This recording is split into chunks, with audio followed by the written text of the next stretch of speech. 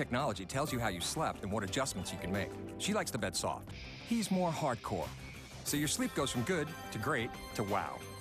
Give the gift of amazing sleep only at a Sleep Number store. Right now, find the lowest payments ever on all beds. Hurry, end Sunday. No better sleep with Sleep Number.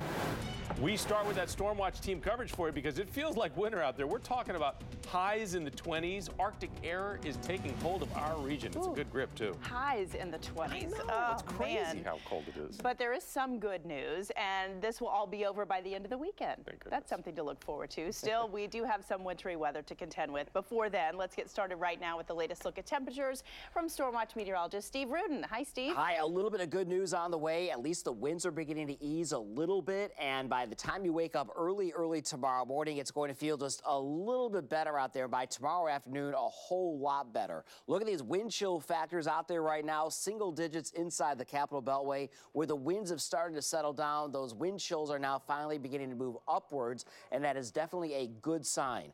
Bus stop forecast for tomorrow, you're still going to want to bundle up, thick coat, the hat, the gloves, the scarf, the works, upper teens by pickup as you move through the midday hours, outdoor recess for some of the kids, middle 20s, added clouds later in the day, but it's going to stay dry. And now we're talking about a winter storm watch that's mainly north and west of D.C. It does include Frederick County, Maryland, Garrett, Allegany, and Washington counties in western Maryland, and then the panhandle of West Virginia. More on what that means for tomorrow night into early Saturday morning coming up in just a few minutes.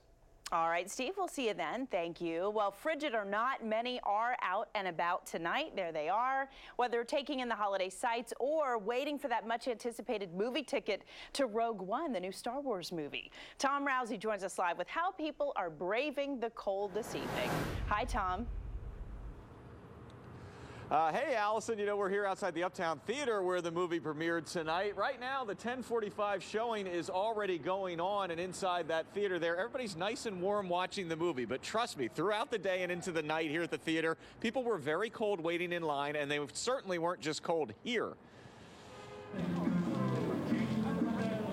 After the sun went down at the National Christmas tree, the face coverings came out, and so did the hoods you'd normally be more likely to see in Siberia. It's really, really pretty, very, very nice. Leroy Plaskett brought his nephew Aiden. It's cold, it's crisp, but it's nice, it's beautiful, to be honest with you. That said, Leroy is from New York. Aiden is from much further south. You're from Florida. What do you think of this weather?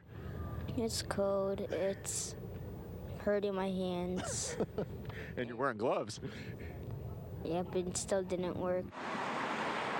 Three miles up the road at the Uptown Theater. Is it going to be worth it? Oh, absolutely. It's Star Wars. How could it not be worth it? The line for the second showing of Rogue One at 1045 started forming about four hours early. I camped out for all of the prequels here at the Uptown back in my crazy college days. Longtime fan Melissa Jones says this is the coldest Star Wars opening night she can remember. When Episode 7 came out last December, it was about 30 degrees warmer. But she and son AJ say it's not bad if you're prepared. I've got tights and uh, leggings and jeans, a coat, a sweatshirt, um, a t-shirt, ear things, and a hat, and my hood, and two pairs of socks. And we're about to go get some hand warmers and foot warmers from the CVS.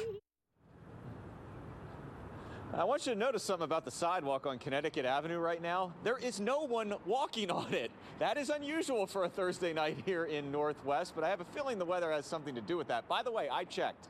One year ago today, the high was 67 degrees and the low was 47 degrees, so we didn't even come close to reaching that low today.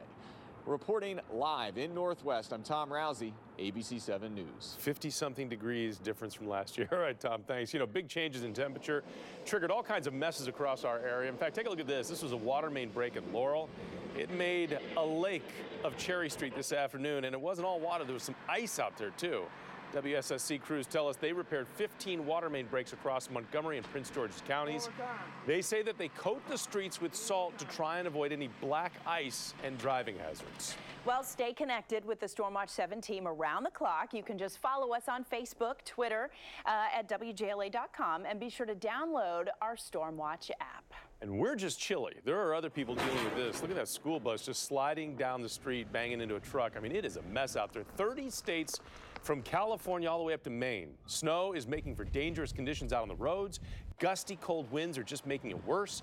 Western Pennsylvania, another chain reaction crash, this time involving 60 cars. Luckily, no one killed.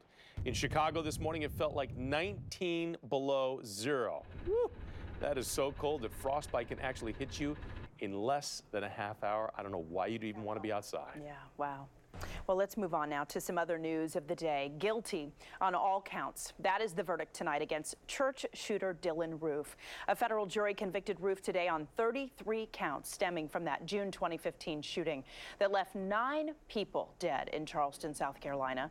Prosecutors say racial hatred motivated Roof to go to that black church and start shooting during a Bible study.